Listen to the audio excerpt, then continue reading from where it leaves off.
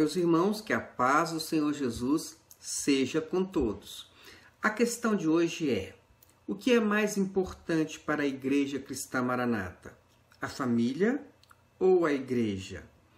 Eu vou começar com uma ilustração que se encaixa em muitas situações que eu presenciei enquanto membro e pastor da Igreja Maranata. Se o seu caso é diferente, ótimo, este vídeo não é para você, tudo bem? Então vamos lá. Imagine uma família tradicional, normal, onde é, os pais trabalham durante a semana, mas que todas as noites estão reunidos em casa e aos finais de semana essa família tem uma programação do tipo um almoço com os parentes, um passeio qualquer, Durante o dia, uns vão, uns vão ao parque, outros vão à praça da cidade, outros ao clube ou ao riacho mais próximos, é, ou também ao shopping, cinema, enfim. Há sempre uma programação em família de acordo com os costumes locais. À noite sempre tem um aniversário, um casamento, uma reunião na casa de algum amigo para ir, e isso é bastante comum e faz parte é, das relações sociais, da interação da, da família, uns com os outros, com os parentes e coisas desse tipo. Mas agora vamos imaginar que, por algum convite, essa família vá visitar a Igreja Cristã Maranata. Ao chegarem na igreja, desde a porta, são muito bem recebidos e, como tudo é feito com muita discrição, essa família não percebe que todas as atenções estão voltadas para ela. Ali tudo está muito bem preparado para impressionar os visitantes, as pessoas falam baixinho, com muita reverência, o louvor é impecável, a mensagem é rápida para não cansar ninguém. E além disso, tem também os dons espirituais que são direcionados para os visitantes para que eles possam então ter a certeza de que Deus está naquele lugar e que se preocupa com aquela família e com cada pessoa em particular.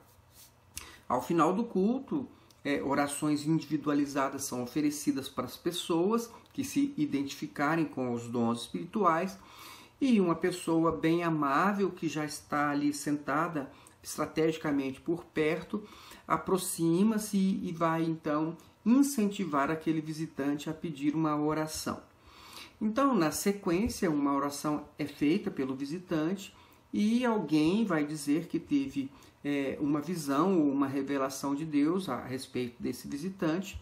E, evidentemente, tanto a oração quanto o dom espiritual eles vão ser direcionados às expectativas daquele visitante, de modo a encorajá-lo a buscar a Deus para ter então a solução do seu problema. É preciso que você entenda que neste momento eu não estou fazendo nenhum juízo de valor sobre a autenticidade de dons espirituais. Sobre dons espirituais, eu devo fazer um vídeo específico, mas em uma outra oportunidade. Neste momento, eu estou apenas relatando o que acontece quando um visitante vai pela primeira vez à Igreja Maranata. Tudo bem? Pois então, do início ao fim do culto haverá de uma ou de outra maneira, uma mensagem sendo dirigida aos visitantes. A mensagem é: você precisa buscar a Deus e a melhor forma de você fazer isso é orando, jejuando, mas principalmente frequentando a igreja e participando é, das suas reuniões. E quando aquela família retorna à igreja, então é um sinal de que nós temos aí candidatos a se tornarem membros da igreja com mais algum tempo. Algumas pessoas já estarão, inclusive, com a responsabilidade de cobrir essa família de atenção, oferecer uma visita, convidar para uma rápida reunião do grupo de assistência e assim vão pavimentando o caminho de ingresso dessa família na igreja. Mas você pode estar se perguntando: que mal tem nisso? Qual o problema de se fazer um bom culto, de tratar bem as pessoas, de demonstrar preocupação com seus problemas? de oferecer atenção, de abraçá-las, etc. Em princípio, não há nenhum problema. Também, é, fazendo uma comparação, não há nenhum problema de se alimentar peixes em seu ambiente natural, o que não é muito legal de se fazer é atraí-los com alimentos e depois capturá-los e colocá-los em um aquário, por exemplo. Em termos da realidade religiosa, podemos dizer que amar, abraçar, reunir, compartilhar, isso tudo são coisas boas, desde que não sejam apenas uma estratégia para conduzir a uma situação de restrição de liberdade e até mesmo de segregação familiar. E essa então é a nossa questão de hoje. Será que uma igreja que prioriza o amor e a comunhão exclusivamente entre os seus membros, colocando-se ela como igreja como algo mais importante do que a própria família, ela vai estar fazendo bem às pessoas? De um modo geral, como eu disse antes, todas as pessoas precisam de apoio nos momentos difíceis de suas vidas e é muito bom quando são bem recebidas em um ambiente amável, agradável e principalmente espiritual. Mas tudo isso seria ótimo, eu vou repetir, se ao final não fosse apenas uma estratégia preparada para prender as pessoas a um sistema religioso segregador, inclusive. Será que isso acontece na Maranata? Será que depois de uma família se integrar, ela não corre o risco de se desintegrar, de ser jogada contra os seus parentes por causa da mensagem da igreja? Vamos a alguns exemplos de como a questão familiar é tratada na Igreja Maranata e eu vou utilizar algumas mensagens que eu tenho em vídeo de seminários da própria Igreja Maranata para que você possa refletir então sobre este assunto específico. A primeira mensagem é de um seminário de primeiro período, de 8 de maio de 2004, cujo tema é Obra como Forma de Vida.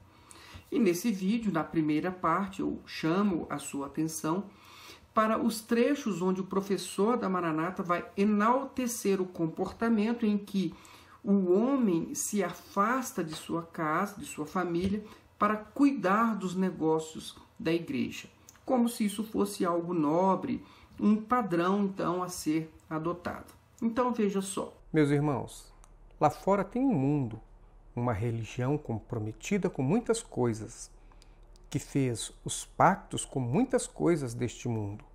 Aos filhos de Eli, os filhos da tradição, os filhos da religião, que não amaram o Senhor. Quem está pagando o preço maior nesta hora?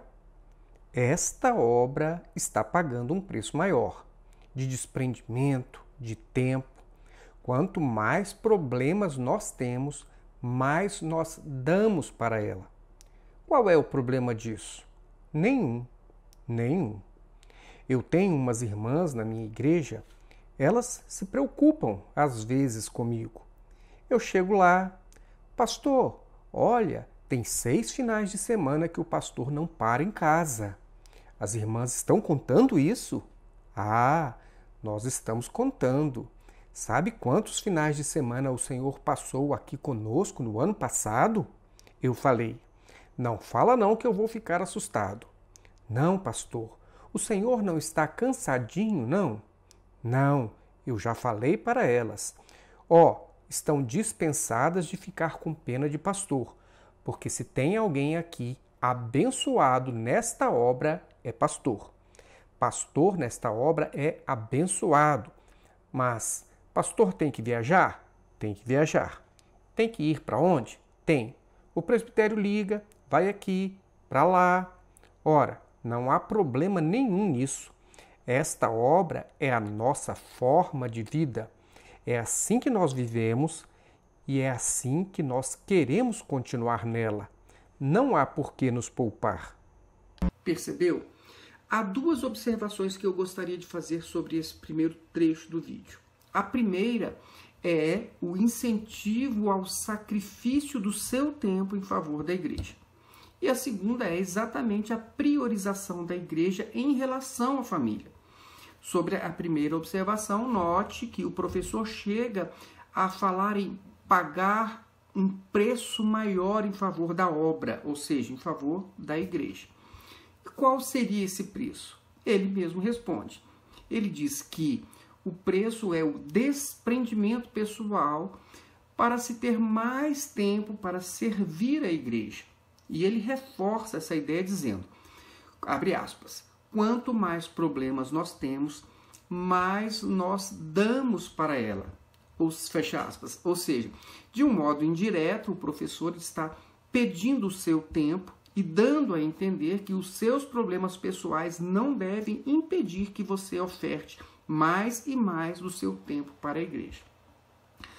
Você consegue notar a semelhança que existe desta mensagem com os apelos da Igreja Universal do Reino de Deus? Se não, volte o vídeo, assista novamente e desta vez preste atenção na questão do preço a ser pago, que é equivalente ao sacrifício pedido na Igreja Universal. Só que Enquanto na Igreja Universal o modo de sacrificar é entregar ofertas em dinheiro à igreja, na Maranata o modo de sacrificar é entregar o seu tempo, o seu serviço e a sua energia vital à igreja.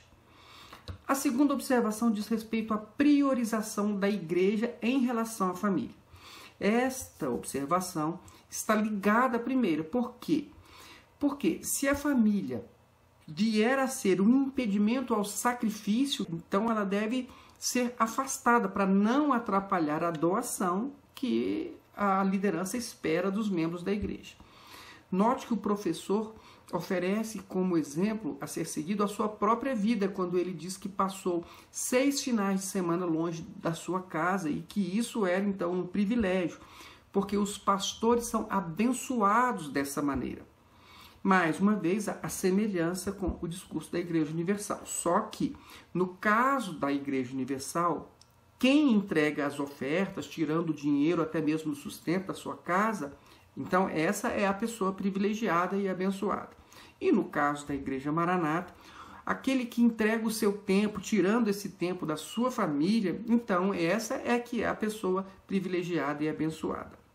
E a outra coisa interessante é que há um certo deboche quando se fala do cansaço físico. Usa-se inclusive o termo no diminutivo, em tom pejorativo. Abre aspas. O Senhor não está cansadinho, não? Fecha aspas. O deboche em relação ao cansaço serve para que ninguém use esse argumento para deixar de ofertar o seu tempo à igreja.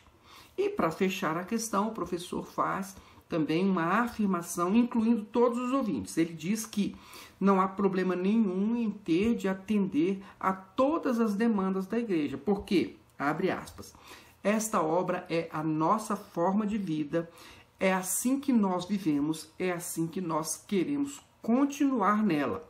Não há por que nos poupar. Fecha aspas. Sinceramente, o que você acha disso?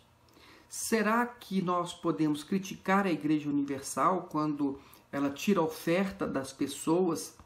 E nós devemos então elogiar a Igreja Maranata quando ela tira o tempo das pessoas?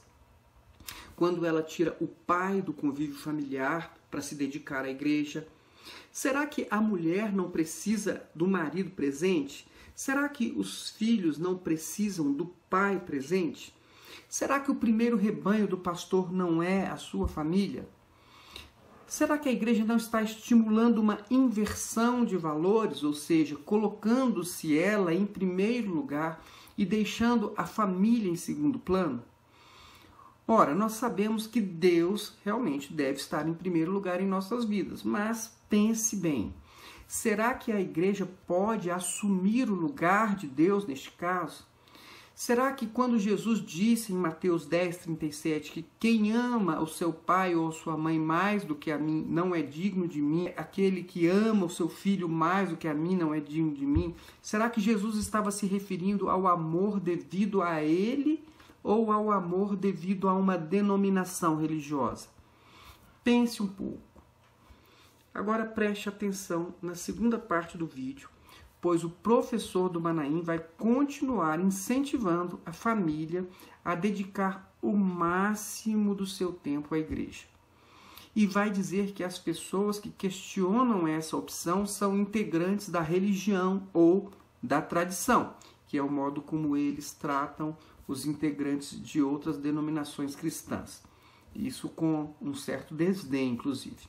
E meus irmãos, terminando, quero dizer uma coisa para os irmãos aqui. Eli, a religião, a tradição, ela tem um conselho só para nós aqui: vai se deitar. O Senhor dizia para Samuel assim: Samuel, Samuel. Ele sentia aquele toque do Senhor, ele ia lá e a religião aconselhava ele: vai se deitar. Você está preocupado à toa, se acomoda. Ele escutava a voz do Senhor, voltava e a religião orientava de novo: se acomoda. Vocês vão de novo para o Manaim? Já não tiveram lá agora? De novo seminário? Madrugada de novo? Mas vocês já não foram na madrugada? Precisa ir no culto ao meio-dia também? Por meio desse vídeo é possível perceber que a liderança da Igreja Maranata tem plena consciência de que ocupa excessivamente o tempo das pessoas. E por isso, então, ela precisa fazer com que tudo isso pareça algo normal e aceitável. E coloca da seguinte forma: quem questiona esse tipo de prática será então comparado a, uma, a um integrante de uma classe religiosa inferior, comparado a um sacerdote velho, cego, gordo, rejeitado por Deus. Pois bem, meu irmão, você acha realmente que a igreja precisa ocupar o máximo do seu tempo e envolvê-lo com um grande número de seminários, é, reuniões e cultos? Você acha que as pessoas que questionam esse ensinamento da igreja são realmente espiritualmente decadentes, comparáveis ao sacerdote Eli? Mas vamos continuar. E agora preste atenção no modo como há um certo desdém quando se fala de férias para descansar e passear com a família. Veja só. E aí à noite, mas vocês vão sair de novo à noite? Onde vocês vão? No culto. Mas de novo? Três vezes num dia? Ah, vocês não vão aproveitar um pouco as férias? Vocês não aproveitam as férias para descansar? Meus irmãos, Todos estes conselhos nós estamos ouvindo da tradição e da religião todos os dias, mas nós respondemos logo com aquilo que está no nosso coração. Fala, Senhor, porque o teu servo ouve. Fala, Senhor, fala conosco, nos orienta. Percebeu? Você acha realmente que tirar férias para descansar é uma bobagem e que esse tempo deve ser dedicado à igreja? Mais uma vez eu repito, eu não estou dizendo que Deus não mereça o melhor do nosso tempo e das nossas forças. Mas, neste caso, você consegue identificar quem está reivindicando o primeiro lugar em sua vida? Deus, Jesus ou a igreja? Pense sobre isso. Mas continuando, a nossa próxima mensagem, que é a que eu vou passar, vai mostrar como pensa o presidente da Igreja Cristã Maranata em relação aos parentes. Isso quando eles é, mostram ser uma ameaça aos interesses da igreja. Veja só. Vamos andar, vamos caminhar, vamos continuar. A jornada é essa mesmo. Os obstáculos, eles estão aí, estão dentro de casa. É a família, é a esposa, é o marido, é o tio, é o avô, é o cunhado, é o que está em Brasília, é o que está lá no Canadá, é o que está lá na China, é o que está lá no Japão. O que é que você tem com isso? Deixa ele para lá. Vai viver a sua vida. Qual o problema? Percebeu? Segundo o presidente da Maranata, é, família e parentes não são bênçãos de Deus, especialmente quando as pessoas se colocam entre você e os interesses da igreja. Então você pode ficar sem eles, virar as costas para eles, deixar eles para lá, se isso for necessário. Mas atenção, será que essa mensagem ela não pode ser desagregadora e levar as pessoas ao isolamento e a desprezar seus familiares e parentes? Pense bem. Mas vamos continuar. Meus irmãos, são obstáculos que nós temos que vencer.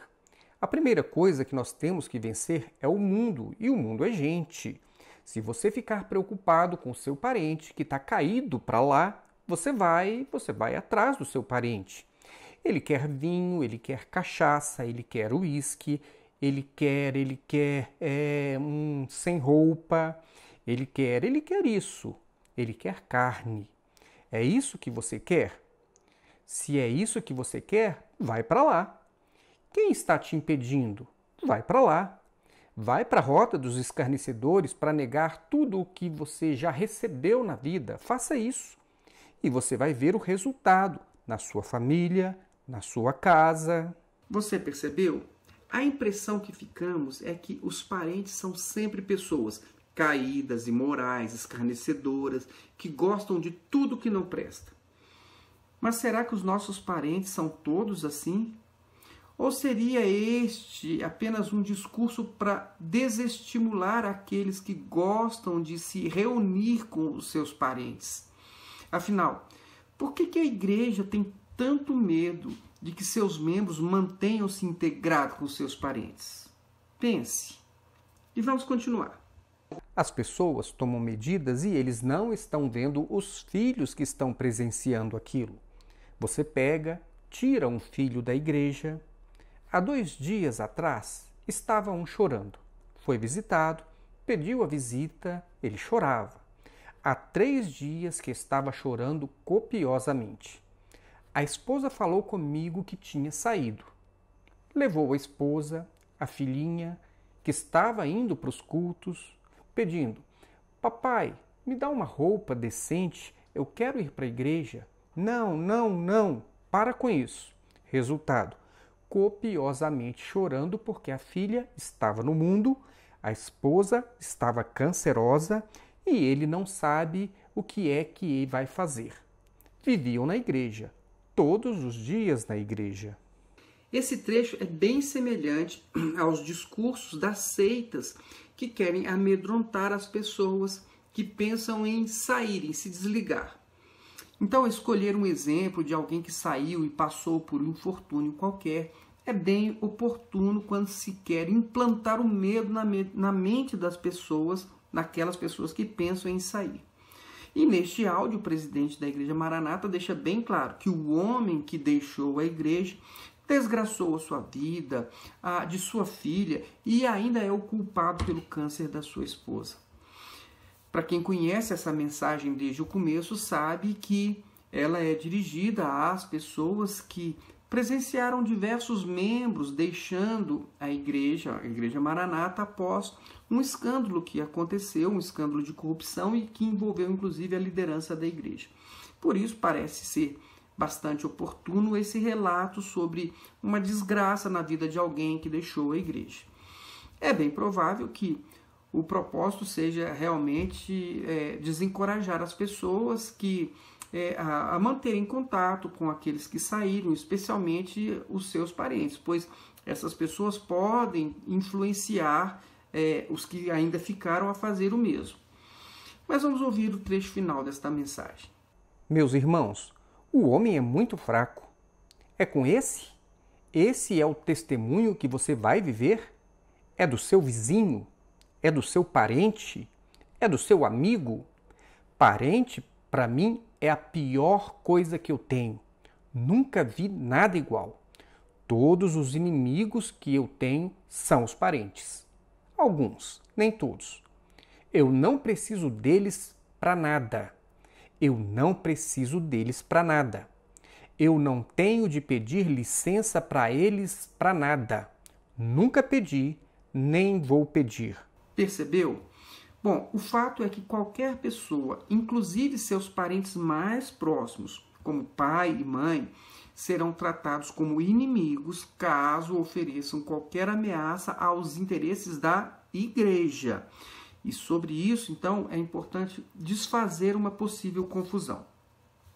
De fato, Jesus disse em Mateus 10, capítulo 10, versos 32 a 37, que nós não devemos negá-lo diante dos homens, mas confessá-lo.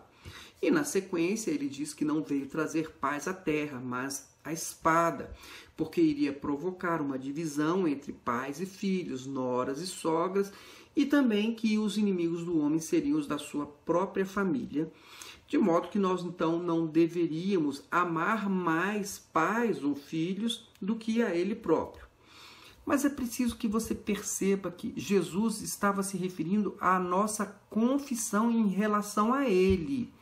E que isso poderia trazer alguma rejeição, é claro, por parte daquelas pessoas que não o aceitassem como filho de Deus, inclusive os nossos familiares.